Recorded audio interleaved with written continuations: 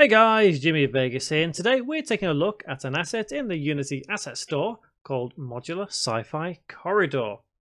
So I think this is going to be quite good for anything that you're making which is perhaps up in space or got anything to do with perhaps other planets, maybe on the moon or something. Uh, the quality of it itself is actually very nice.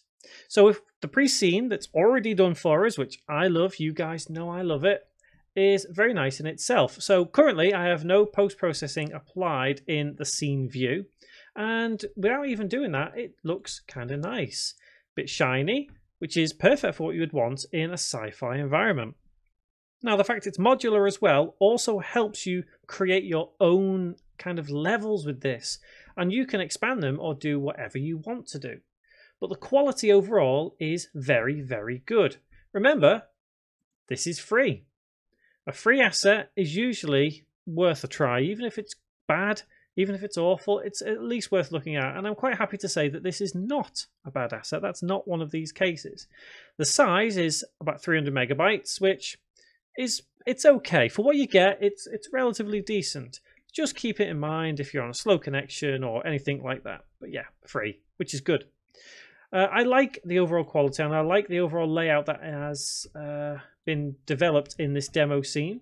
Uh, obviously, it gets a little bit better with some post-processing. So if I apply the post-processing, looks fairly decent. And if we press play and go to the game view, it actually has some scripts on it which allow us to look around the scene, like so. And I do think it is very, very nice. So like I say, because it's modular, you can actually take all these pieces and construct your own level, your own areas, anything. I think it's a very, very nice asset. Uh, obviously, you could apply your own post-processing. You're not restricted to the post-processing that comes with the package because, yes, it does have its own post-processing profile. And on that note, let's talk about the extras. So one of the extras, like I say, is that um, corridor, uh, actual asset for the post processing. Uh, you could add fog to it if you wanted to. You could play around with it, you know, play with the ambient occlusion, add a little bit of bloom if you wanted to, make the bloom absolutely ridiculous because I love bloom, you know. That's kind of cool. So you're changing that to be your own kind of actual touch, you know, your own personal feel to it. Play around with it like that, add some saturation, add some contrast, see what that looks like. So now you've created a kind of think of it as a survival horror kind of image, a kind of feel, like a laboratory kind of feel. So I think that's the how where the usefulness comes in as well. So like I said, with the extras, you get that post-processing profile, you get uh, script as well to help you look around, camera control. Other than that, it's just pretty standard stuff that you would expect to see anyway.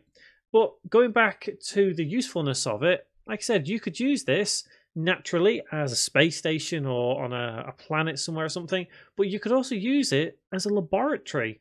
Now, that is something which I initially found to be quite useful because, as you, as you guys know, I'm doing a Resident Evil series and I kind of need to plan a lot of things. And I couldn't quite find a laboratory atmosphere that I wanted for that tutorial series. So I started experimenting, and that's how I found this asset initially because I feel that looking something down here, this looks like a laboratory that you would see in a Resident Evil game. So it's got multiple uses, this asset. That's where the usefulness comes in. Uh, the folds are all laid out nice and neatly, which is always a bonus because things are easy to find, really easy to find. I like them.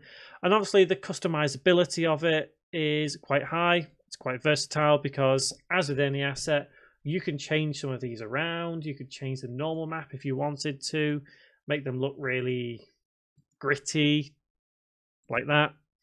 Uh, increase it, make them look really gritty. See what I mean? So you're free to play around with this in so so many different ways, and that's why I like the versatility of this. And as said, the ultimate reason I decided to take a look at it was for a laboratory atmosphere. So you could use it as either so as you guys know, I don't rate assets. I either recommend them or I don't recommend them. And I would recommend this asset. I think this asset will fit into most genres of games one way or another. You've got to think about it logically. If you're creating an FPS, this could fit in somewhere. If you're creating even an RPG, this could fit in quite nicely anywhere. Survival horror, even adventure game. This is going to fit in quite nicely. And even if this kind of thing doesn't fit in with what you're creating, there's going to be something within this whole package that you may find useful, even if it is just a floor or something. So that is why I like this asset, and this is why I would recommend it.